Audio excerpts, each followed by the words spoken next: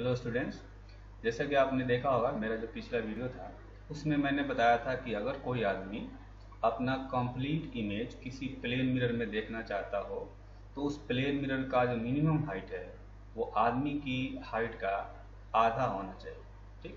उसी तरह से मिलता जुलता एक और क्वेश्चन पूछा जाता है कि अगर कोई आदमी अपना कंप्लीट फेस का इमेज किसी प्लेन मिरर में देखना चाहता हो तो उस प्लेन मिरर का विड्थ मिनिमम विड्थ कितना होना चाहिए? ठीक है? तो उसके लिए हमें जो आदमी का फेस है, उसका थोड़ा जोमेट्री पता होना चाहिए।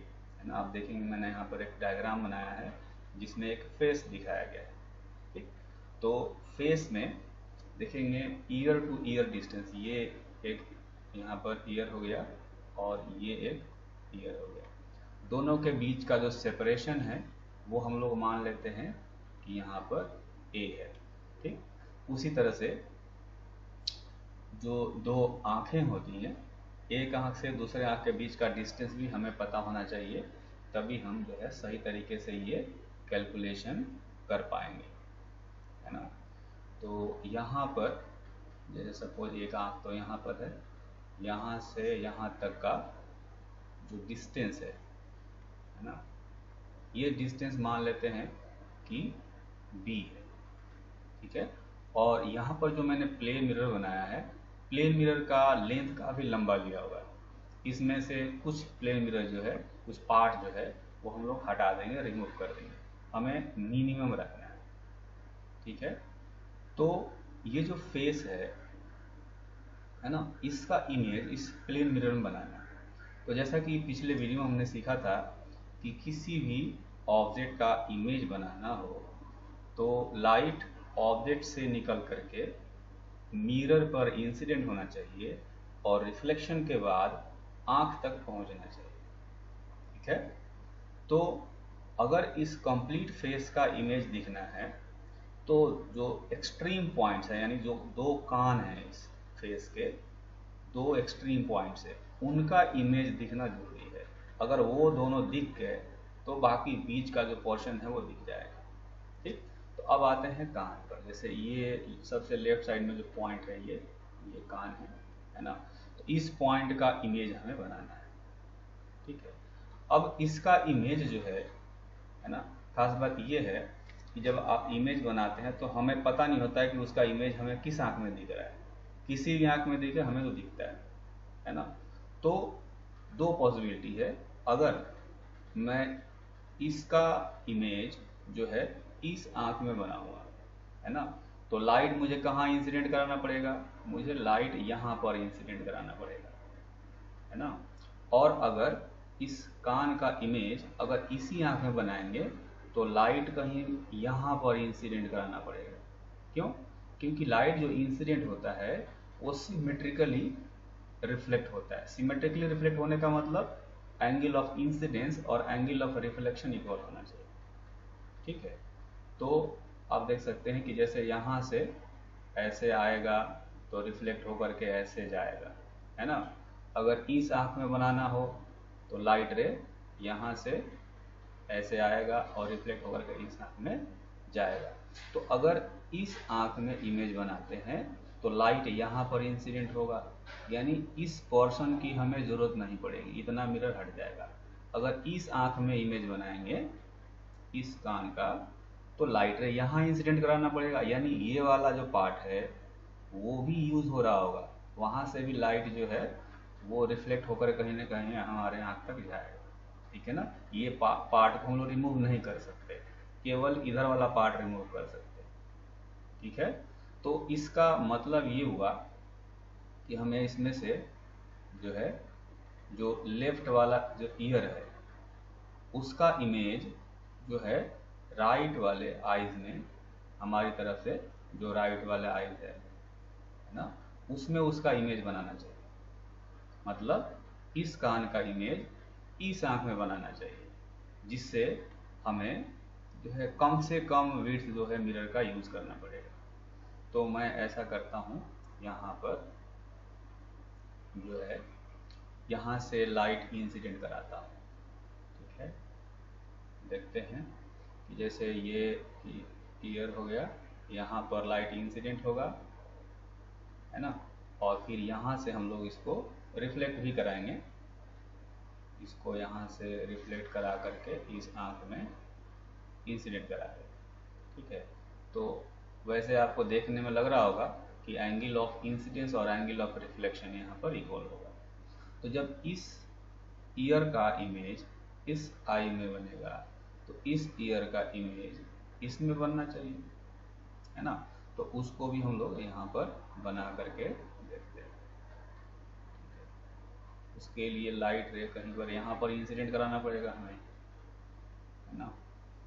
तो जैसे ये ईयर हो गया, यहाँ से यहाँ आया, ठीक है? और फिर यहाँ से लाइट को हम लोग रिफ्लेक्ट करा देंगे। यहाँ से रिफ्लेक्ट कराएँगे ऐसे। तो मतलब कि यहाँ भी एंगल ऑफ़ इंसिडेंस और एंगल ऑफ़ रिफ्लेक्शन इक्वल होना चाहिए। तो कहने का मतलब ये है, जो लेफ़्ट वाला ईयर है, यहाँ से लाइट रिफ्लेक्ट हुआ, ये इंसिडेंट हुआ, और यहाँ से रिफ्लेक्ट होने के बाद ये लाइट रे इस आँख में चलेगा उसी तरह से ये जो कान है, यहाँ से जो लाइट रे इस मिरर पर इंसिडेंट होगा, यहाँ से रिफ्लेक्ट होगा, और उसके बाद जो है, ये रिफ्लेक्शन के बाद इस आँख में चला जाएगा, ठीक? तो हम लोग क्या कर सकते हैं, इसमें यहाँ से लेफ़्ट में ये मिरर जो है रिमूव कर सकते हैं, इसकी ज़रूरत नहीं। है उसी तरह से यहाँ से राइट में जो मिरर है, उसको भी रिमूव कर सकते हैं। हमें केवल इस मिरर की ज़रूरत पड़ेगी। तो ये जो है एक तरह से मिनिमम वेट हो गया मिरर अब इसकी वैल्यू कैसे निकालें? है ना? तो यहाँ पर देख सकते हैं। पहला चीज़, इसमें हमें ये मानना पड़ेगा कि जो फेस है, वो हर तरफ़ से सीमेट्रिक है। है ना? यानी कान और आँख के बीच का जो स्पेसिंग है, जो इधर है, उतना ही इधर भी होना चाहिए। ठीक है? जो आदमी है, वो नॉर्मल है। ना? मतलब जैसे कहते हैं ना, कोई काना आदमी होता है, आँख इधर उधर होती है। तो वैसा नहीं है। यहाँ पर सिमेट्रिक है, ठीक है? तो सिमेट्रिक होने का मतलब है कि जितना डिस्टेंस यहाँ होगा लेफ़्ट कान और लेफ़्ट आँख के बीच का डिस्टेंस उतना ही राइट कान और राइट आँख के बीच का डिस्टेंस होगा, ठीक है? तो अगर मैं ये राइट वाले कान और आँख के बीच का डिस्टेंस एक्स मान लेता हूँ तो यहाँ भी लेफ़्ट कान और लेफ़्ट आँख के बीच का डिस्टेंस भी एक्स होगा, ठीक? तो अगर टोटल डिस्टेंस जोड़े दोनों कान के बीच का तो इधर से होना चाहिए ये x plus b plus x यानी ये हो जाएगा टू एक्स प्लस बी और ऊपर आप देखेंगे तो मैंने बताया था कि दोनों कान के बीच का जो डिस्टेंस है, वो ए है। तो दोनों कान के बीच का डिस्टेंस ए है। ऊपर जो दिया गया था, और यहाँ पर हमने जो एक्स एज्यूम किया है उसके हिसाब से ये हो गया टू एक्स प्लस बी। तो यहाँ से हम लोग एक्स का वैल्यू निकालेंगे तो आएगा a minus b divided by two, है ना? तो एक्स का वैल्यू मतलब कि ये जैसे राइट वाला आँख और राइट वाला कान के बीच का जो डिस्टेंस है, वो एक्स है और उसकी वैल्यू आई है a minus b by two, ठीक है? क्योंकि हमने सिमेट्रिक माना है तो दोनों साइड में डिस्टेंस एक्स एक्स लिया था। अब खास बात ये है कि यहाँ पर जो है, हर तरफ़ से सिमेट्री है तो अगर ये एंगल ऑफ़ इंसिडेंस आई था तो एंगल ऑफ़ रिफ्लेक्शन आई। और इधर से भी, क्योंकि सारे डिस्टेंस एक जैसे हैं तो ये एंगल ऑफ़ इंसिडेंस भी आई ही होगा, और ये भी आई होगा। तो सारे एंगल इक्वल होने का मतलब क्या हुआ कि ये लाइट और ये लाइट दोनों पैरेलल हो गए, ये और ये भी दोनों पैरेलल हो गए। अच्छा ये और ये पैरल होने का मतलब ये हुआ कि जो डिस्टेंस ये एक्स आएगा, उतना ही डिस्टेंस यहाँ भी आएगा, ठीक है ना?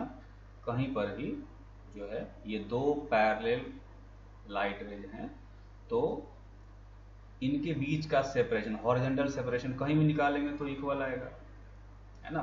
तो अगर ऊपर एक्स था तो नीचे भी एक्स ही आएगा। यहाँ से देख सकते हैं, यहाँ भी एक्स था, हमने एक्स लिया था एक तो यहाँ भी एक्स आएगा। तो इस एक्स की जो वैल्यू आएगी, वो आएगा a minus b by two ठीक है?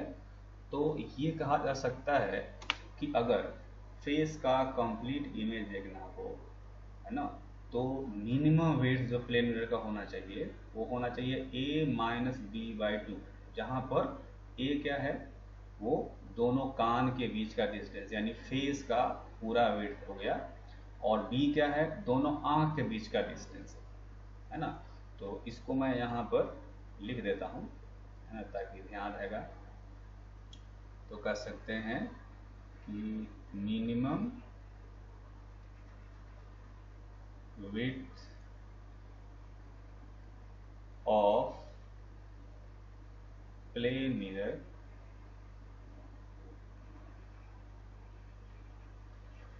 to see the complete image.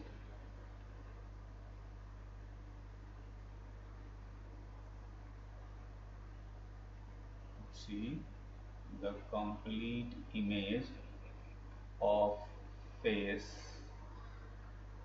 is a minus b by 2 where